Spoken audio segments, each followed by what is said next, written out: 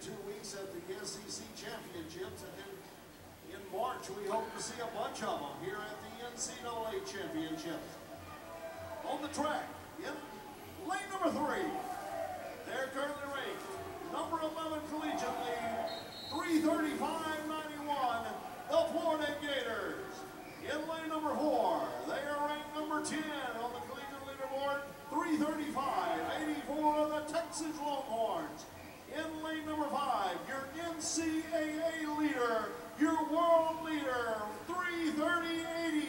They won the Razorback Invitational, the Arkansas Razorbacks in five.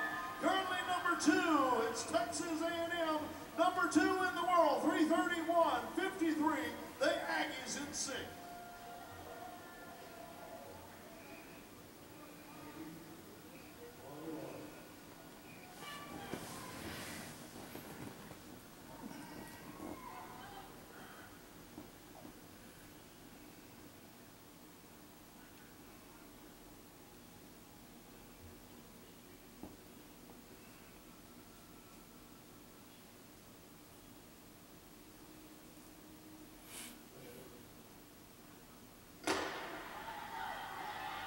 Here we go.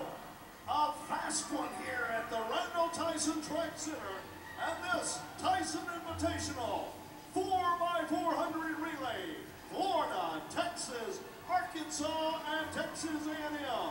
Taylor Manson of Florida, Stacey Ann Williams of Texas, Morgan Burks Magee of Arkansas, and Jania Martin of Texas A&M.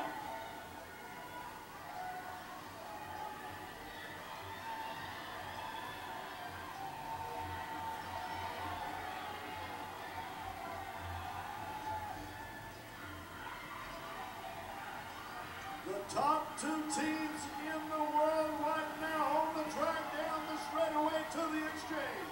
Texas A&M and Arkansas. The Florida Gators right there in the Gators. Your leader.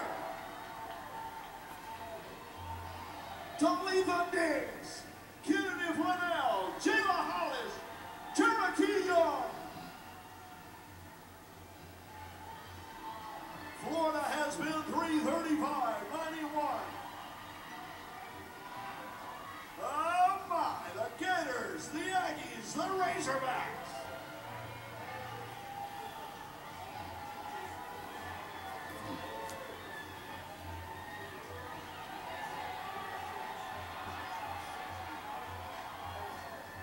Cherokee Young of Texas A&M trying to take a lead here, but look at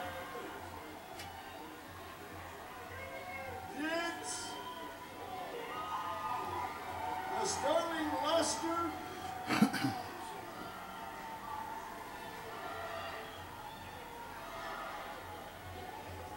Sierra Richardson.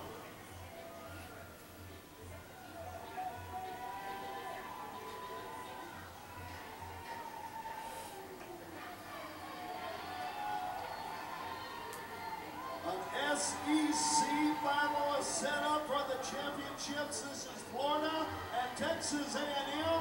The Aggies of College Station on the backstretch takes the lead. And look at this jet take off. Sierra Richardson for the Aggies.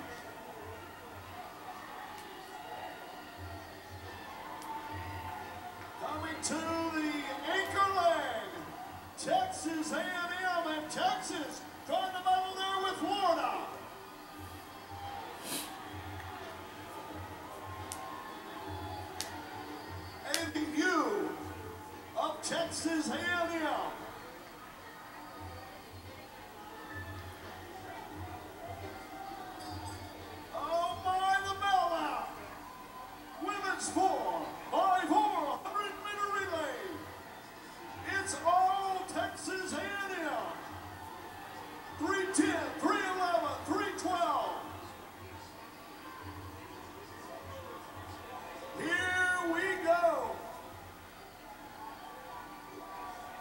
women's 4x400 relay, and look out at that.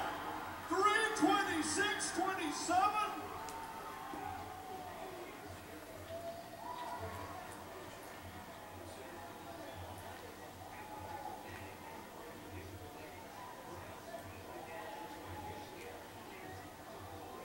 Texas A&M 326-27 a new Tyson Invitational record.